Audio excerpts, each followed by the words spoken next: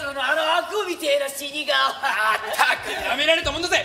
あの程度の警官だけで俺たちを護送しようなんざな。しかし切れ味がいまいちだな警官の刀は。贅沢言うなやしろないよりマシだろ。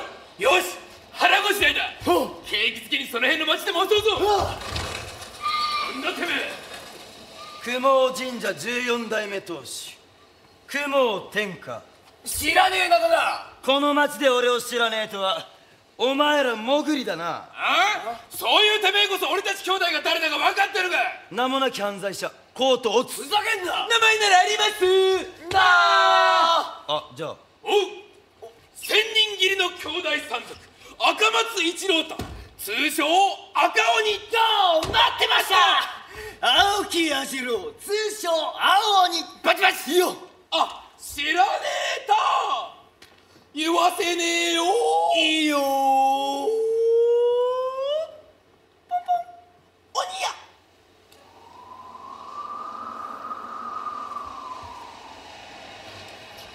や。後でミーティングな。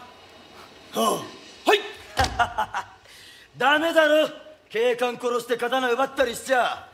今は文明開化の明治の世。一般人が刀を持つことは配当令で禁じられてんだろうが。じゃあてめえが腰にぶら下げてるもんはなんだ?あこれ？こいつは違う。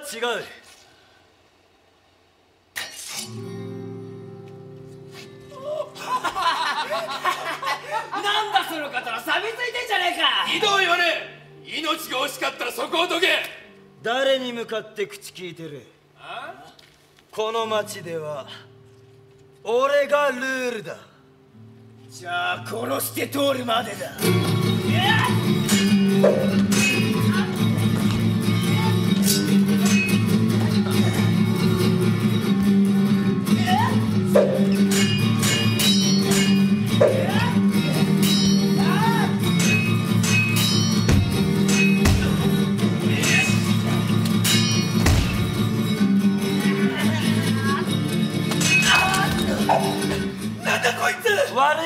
だから罪は償え。連れてくぞ獄門所に。頼む。あそこだけは勘弁してくれ。消しの実を持ってきてねえんだ。消しの実。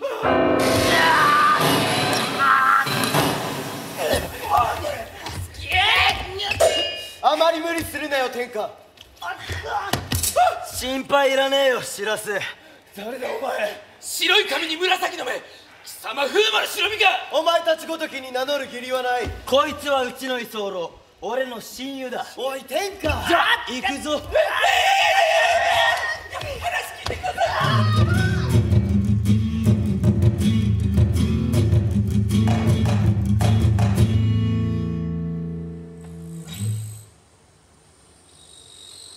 おせえ兄貴のやつ。どこを突き歩いてんだよ差し置いて食べるなんてありえないっす。ご飯。いやありえないっす。すげえ葛藤してんな。飯はみんなでってのが雲家の掟だろ。もうちょっと我慢しろ。はい。ただいま遅い。こんな時間までどこ行ってたんだよ。日課のパトロールだよ。護送中の山賊が警官を襲って逃げやがってよ。今獄門所に送り届けてきたとこ。さすがテニス。近い。なんだよ言ってくれれば獄門所まで船出したのに。いいんだよ。お前らはそんなこと考えなくて。またそれかよ。俺たちだって雲家の人間なんだ。お役目果たす義務があるだろ。お前らには大事なお役目があんだろ。俺は死んだ親父を受け継いで大津の町を守る。空丸は死んだおふくろを受け継いで炊事洗濯掃除。中太郎は死んだ野良猫を受け継いでペット！ペットはいつはいじゃないだろ返事すんな。白洲さん呆れてるんでしょそんなことないよ。絶対嘘。だって目がバカにしてるもん。空丸失礼なこと言うな。しらすを切れさせたらお前なんか2秒で殺されるぞ。そうっすよ。なんだってあの風魔一族の生き残りなんすから。冗談だよ冗談。殺さないでよそんなことするわけないだろ。みんなは俺の命の恩人なんだからな。だよね。じゃあみんなでご飯にするっす。おもうなんかペコペコちょっと待て兄貴。あ？俺真面目に考えてるんだ。俺もそろそろ町の治安のために兄貴と一緒に。ダメだ。じゃあみんなでご俺だって毎日剣の稽古してるんだ。腕だって少しずつ上達してる。だったら俺から一本取ってみせろそれまでは認めないって言ってんだろ。今日こそやってやるよ。いいだろう。よし。もう後にしなよ。忠太郎がお腹を空かせてる。うん平気っす。天人がやるなら付き合う。っす無理してない？してないっす。天人の言うことは絶対っ。すはいはい。なんだよ兄貴。やる気あんのかよ。いつでもかかってこい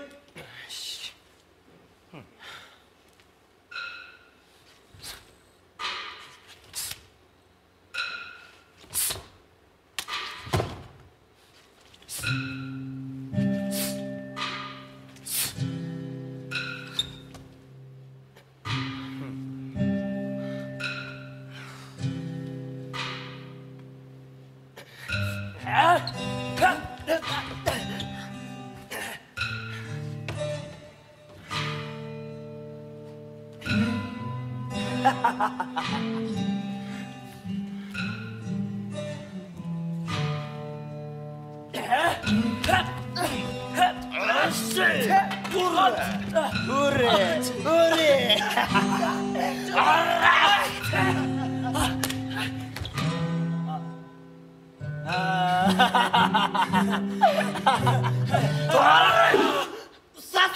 天人の勝ちっす。俺様に勝とうなんざ100兆年早いんだよ。じゃあご飯にするっす。俺くそおー泣け泣け。いっぱい泣いて大きくなれ。泣いてないし。心では泣いてんだろ。だから泣いてないって言ってるだろ。泣いてるっす。おいらのお腹が泣いてるっ なんだよお腹が泣いてるって。鳴ってるの間違いだろ？すあそっか。それだそれ。焦ることはねゆっくりでいいんだ。泣いて叫んで強がって誇れ。己が生き様を。そして笑え。この灰色の空の下で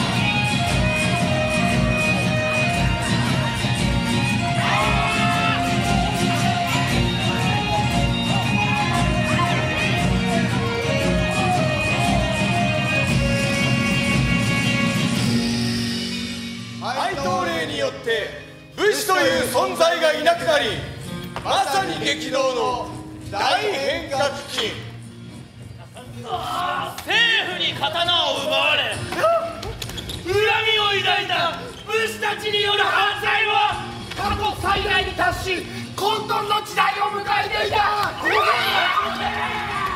ここ滋賀は琵琶湖のほとりにある大津の町もしかりそんな犯罪者を投獄する日本最大の監獄が琵琶湖の真ん中に建てられていた。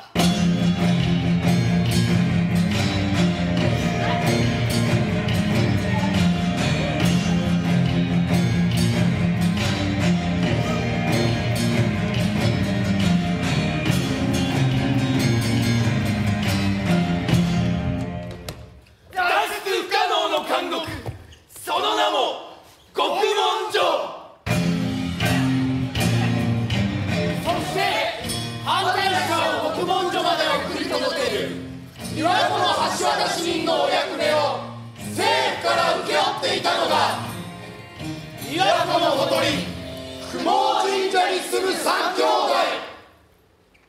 人呼んでどう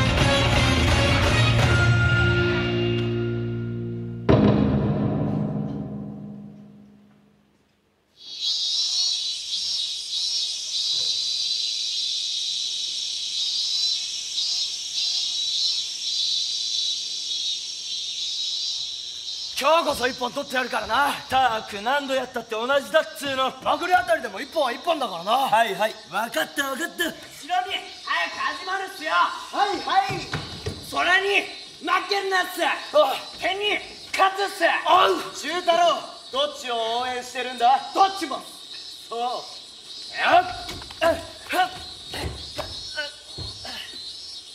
はいおしまい。まだまだ懲りねえな。殿下手加減してやれ。怪我でもされたら大変だ。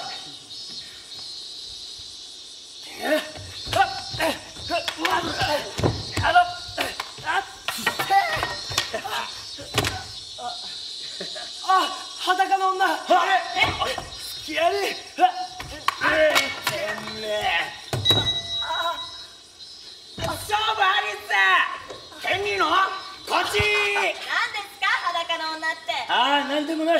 のバカの独り言。でうまそうな野菜だな錦。うちの店の売れ残りですけど。いつも悪いな。お礼を言うのはこちらです。皆さんが大津の治安を守ってくれてるおかげで私たちも安心して暮らせているのですから。たくこんなけなげな子捕まえてそんな姑息なことばっか考えてっから。いつまでたっても剣の腕が上達しねえんだよ。さすが天にっす空兄の心にもぐさっと一本取ったっす。確かに刺さった。